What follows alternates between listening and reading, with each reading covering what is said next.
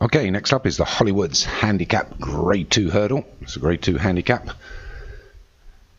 Over 2 miles and 3 furlongs. So number 1 is Black Widow, 2 is Eskimo Jane, 3 Banana Split, 4 Belle Fortuna, the favourite, 5 Maidstone Maid, 6 Sunset Ride, 7 Loud Downs, 8 Depalia, 9 Fast Fix, 10 Lizzie's Boy, and 11 Famous Poet. So you can have a couple in this one. I can see Loud Dan's and Lizzie's Boy for Darren Howes and Famous Poet and Belle Fortuna for Stu Great. Not sure if there's any other ones. As we going to wait for them in here, they are, and they're away. So it's a grade 2 handicap hurdle. Into the first, Eskimo Jane's going to lead this. So Eskimo Jane. Happy to bowl along. There's only going to be 11 flights to negotiate. Still got over 2 miles to run though. We wait for him to come to the second here at Ascot. And there it is. And everybody's over it. So Eskimo Jane, although the jockey's uh, trying to pull him back here, run off a little bit freely. Excuse me.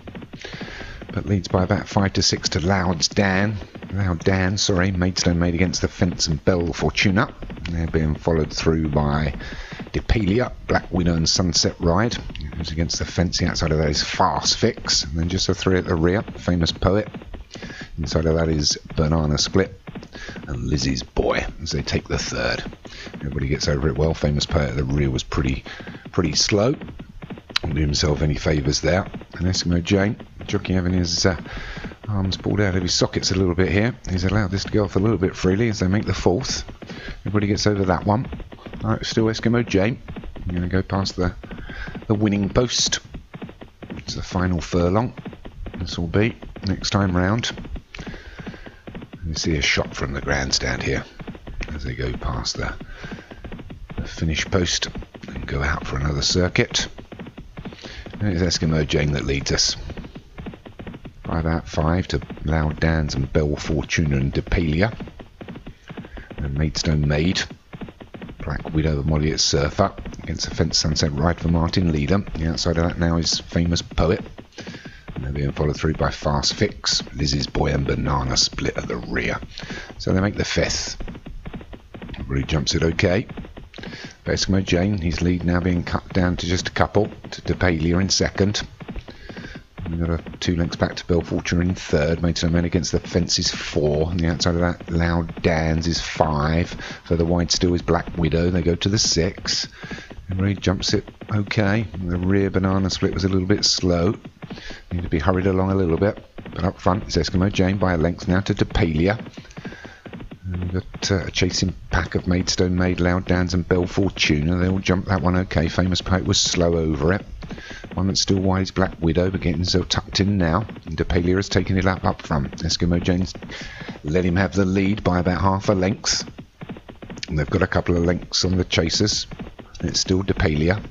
By length now to Eskimo Jane. There's the seven furlong pole. Depalia, Eskimo Jane. Eskimo Jane being pushed along occasionally. Needs to keep his mind on the race. We're getting a much closer order now. One that's finishing, uh, coming out of the pack with a bit of pace now is Black Widow.